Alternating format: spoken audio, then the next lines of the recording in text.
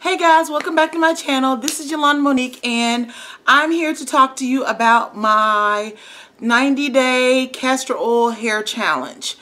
I actually went over 90 days because for two and a half weeks I was sick, one with the flu, one with the upper respiratory infection. So I added the two weeks that I did not even participate, you know, into the end.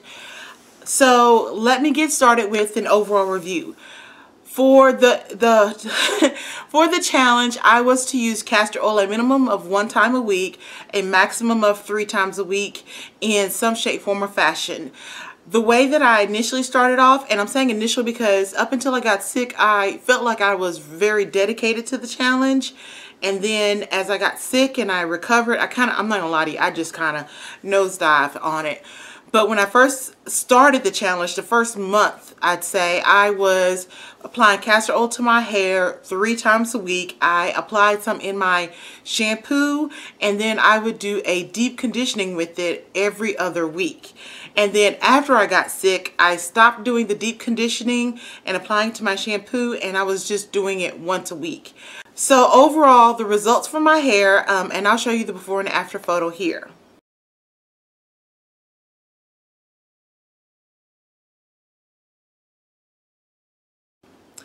Overall, the results for my hair is it got thicker. I have 4C hair, 4CD hair, depending on which chart you look at. So I have that fight the power kind of hair. I have got, it's, I guess you would say thick and very kinky, coily hair. After the challenge, my hair got thicker. And I know that for some people that might be hard to think thick hair got thicker, but before it was, I could comb through it, but it would take me a while. During the challenge and as I'm, my hair is getting adjusted to the castor oil, it became ridiculously thick. I will say that I did gain length, as you can see. I will tell you that the places that didn't grow the most, or normally didn't, I see, the places that I normally don't see hair growth, I did see hair growth with this. Um, for my edges, my edges were really, really bad. I mean, here you can see that they're they're growing in. I mean, before there was nothing there, and now I have I have hair. And I'm going to continue to use castor oil in some shape, form, or fashion. I will definitely um, I will definitely be using castor oil mostly once a week. I will try to go twice a week with using it to on my hair, but for me, I didn't, like I said, I didn't get the length that everyone else was getting. Now, other members of my family also joined me in this challenge. My aunt and my mom joined me in the challenge halfway through. I can tell you that my aunt got major length. She, in one month, she grew about an inch worth of hair. She was able to get such length that she actually went in and had her hair trimmed. And my aunt is very stubborn about trimming her hair because she wants it to grow. My mom has seen peach fuzz in same thing I, I, think it's hereditary you know the re recessive hair right here in the temples. Um, my mom has that and so she has seen growth in her hair. So I, I would definitely say that it varies depending on each person's hair type and their hair. Like I said for me I got hair growth but I didn't get the super growth that other people got but I got thickness. And I know that some people may not see the length as much as others but how am I trying to word this? I know for a fact that I got hair growth because when my grandmother came to see me, who I don't see that often, the first thing she does, and she's a southern woman, so she was like, oh baby, your hair is grown. So when someone who doesn't see you as often acknowledges the fact that you've got hair growth, to me that, that was telling me I was getting growth. is just, it wasn't the growth that I wanted. I don't know if I'm making sense on that but I will definitely be keeping castor oil in my regimen for my hair care routine. To sum up my experience with castor oil, I would say, one, you will see growth in some shape, form, or fashion, whether it is growth in length or growth in thickness.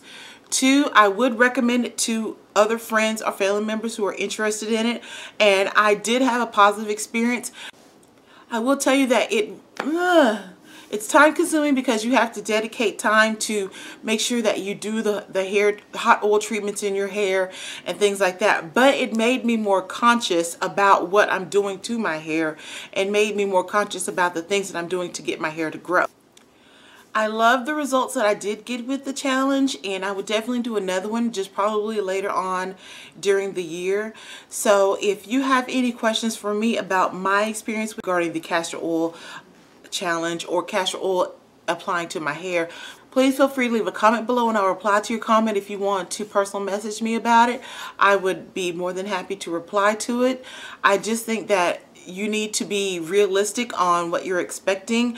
There are some people who naturally have fast growing hair. So of course them using the challenge did make me who doesn't have natural fast growing hair think, oh, I'm going to get this growth. And I had to have a reality check and say, you know, my hair only grows uh, half of an inch in a month. So don't expect results what they were getting, which was double, um, uh, you know, double that or even triple that. Some people um, so I think that if you're going to go into a challenge or go into a hair care routine, you need to be realistic about what your hair normally does under general or regular circumstances and what to expect with this.